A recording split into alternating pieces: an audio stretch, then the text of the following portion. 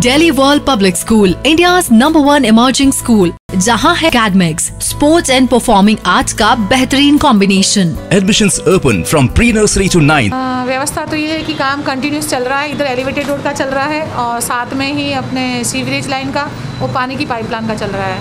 तो जैसे इन लोगों से पहले भी हमारी मीटिंग हुई थी हम लोगों ने बोला था कि अब इस तरह से काम करें कि हमको ट्रैफ़िक के लिए अल्टरनेट रास्ता कहीं से मिल जाए। आज जब हमने देखा तो दोनों पैरेलल खुद रहे हैं तो उनको मौके पे बुला करके थोड़ा सा समझाया गया कि हमारे लिए दिक्कत पैदा हो रही है।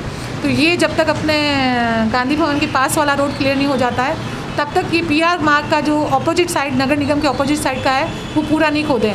ये कंप्लीट हो जाने के बाद खुद वाले क्योंकि हमारा डाइवर्जन पॉइंट चूड़ी बाज़ार है और वहाँ खुद जाने से दोनों पैरेलल हम चला नहीं सकते। पूरा डाइवर्जन मैंने अच्छी तरह से दे रखा है, लेकिन फिर भी किसी को अगर शहर में आना है टू व्हीलर है या फोर व्हीलर है मार्केट में आना है, दुकान पर आना उनकी बहुत सारी परेशानी हो रही है, उस चीज़ को लेकर के कंटिन्यूस हम इसको परस्यू कर रहे हैं और कोशिश कर रहे हैं कहीं से इन साधनों को निकालें ताकि ट्रैफ़िक जाम ना हो। है हाँ जैसे अभी हमने पहले चूड़ी बाज़ार वाला बंद कर दिया था आज चूड़ी बाज़ार वाला सही हो गया है। तो जो अपने मार्टिनल ब्रिज स्टेशन रोड से आने वाला ट्रैफ़िक है जिसको बजरंगगढ़ की तरफ़ जाना है उसको हमने चूड़ी बाज़ार से डाला है और नसिया से निकाला है जो आराम से फवारा या बजरंगगढ़ बाहर की तरफ़ जा सकता है।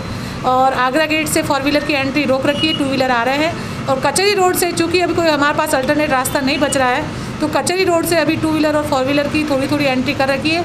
किसी को अति आवश्यक कार्य है, उस फोर व्हीलर को आया नहीं दिया जा रहा है। बाकी को शहर के बाहर से सीआरपीएफ होते हुए डाइवर्ट किया गया है।